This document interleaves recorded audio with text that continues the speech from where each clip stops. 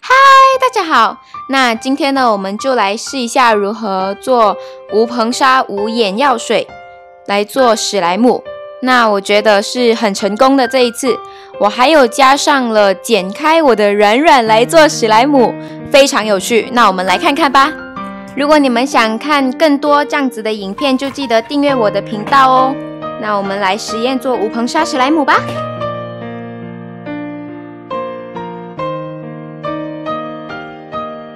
首先呢，第一款我们要做的就是用洗发乳还有剃须泡来做史莱姆。首先我们需要一个容器，还有一个洗发乳。那我建议大家用潘婷的洗发乳比较会适合我们做史莱姆。之后呢，我们需要的材料就是剃须泡。那我们加入潘婷洗发水后，就加入剃须泡，分量呢就是多过洗发乳就可以了。然后呢，我们就要不停的搅拌搅拌，直到两者完全混合在一起。之后呢，我觉得我的剃须泡加太多了，所以我就加入了一点潘婷的洗发水。之后呢，就是不停的搅拌、搅拌、搅拌。最后呢，就加入一些盐，盐呢就加入一点点就可以了。如果你加入太多盐的话呢，就会融化掉你的洗发乳，那你的史莱姆就会不成功了。加入一点点的盐呢，可以让它粘稠一点，那你就可以有得到很棒的史莱姆质地了。之后呢，搅拌后就会发现它的史莱姆变粘稠了。之后呢，盖上盖子后就放进冰箱里面四十五分钟。那放入四十五分钟后的结果是怎么样呢？好，它已经凝固了。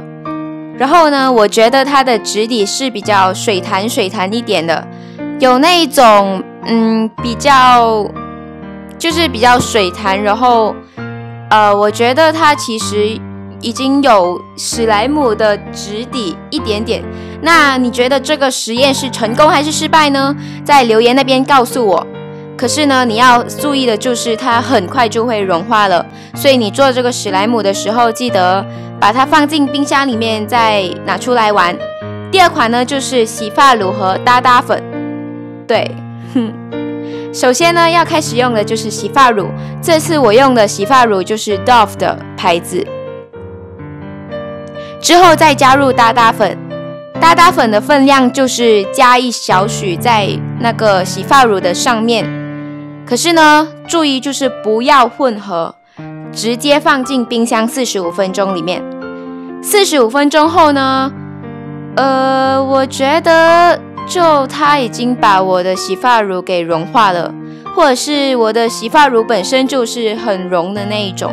这个呢是我最期待的，就是剪开我们的软软，然后用里面的内馅做无硼砂史莱姆。首先我们需要一个容器，之后当然就是要需要一个软软啦。那这个软软呢，我一直很好奇它的内馅到底是什么，因为我挤过很多次，然后它内馅就是一个白白的东西，而且它弄到那个软软变得很 Q。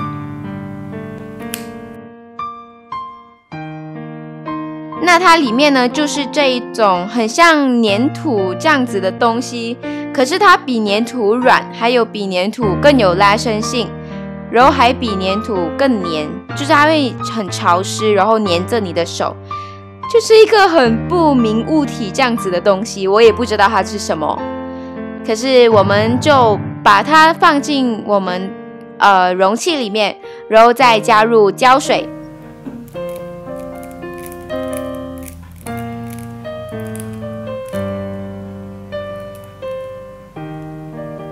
胶水的分量是一比一，之后呢，我们就要开始搅拌均匀。这个部分有一点点的麻烦，然后有一点点的长时间，因为它的那个粘土本身，呃，就很难和胶水混合。我也不知道为什么，可是你需要搅拌一段时间后呢，它就会完全跟胶水混合，之后你就会看到一堆白白色的东西。之后呢，当它混合均匀后呢，就加入色素。这个是你要加入也可以，不要加也可以。可是我就加入了一滴绿色的色素，还有一滴红色的色素。搅拌后呢，就是这个很丑的颜色。对我也很讨厌这个颜色。所以呢，我就决定呢，再加入一滴的红色，哦，是两滴。搅拌后呢，就会有这种紫色的超美的星空史莱姆的颜色，这样子的东西。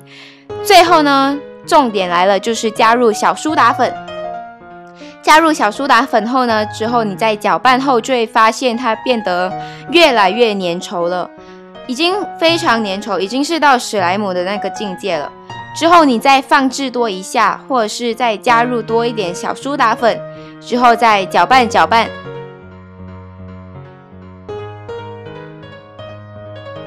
这时候呢，你会发现你的史莱姆已经差不多要成型了，它已经可以从你的容器中完好无缺的拿出来，而且也没有粘着你的容器，这就代表你成功啦。这个史莱姆是真的超好玩。然后它拉伸性超好，然后它的戳声也是超大的，我超爱这个史莱姆，这是我做过最成功的史莱姆。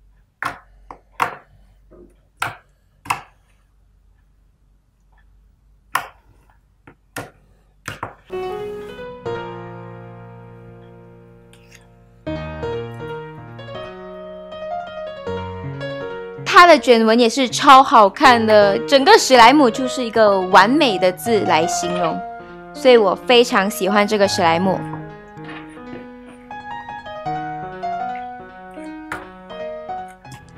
那最后一个实验呢，就是用沐浴乳还有洗手液来做史莱姆，到底会不会成功呢？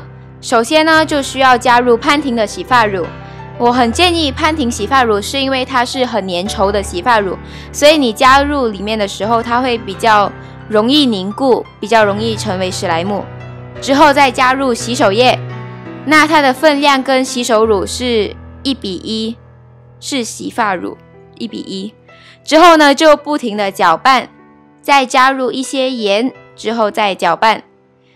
呃，可是直觉告诉我，这个应该是一个失败的实验，因为它的超级液体，而且一点也没有凝固的感觉。然后我就把它放在冰箱里面四十五分钟。那四十五分钟后呢，它的效果还是没有改变的，所以这个是失败的实验。那今天的影片就结束喽，喜欢这支影片记得按赞并且分享出去。那记得订阅我的频道，可以看到更多史莱姆影片，也可以追踪我的 Instagram 还有 Facebook，可以看到更多的史莱姆影片。我们下次再见，拜拜。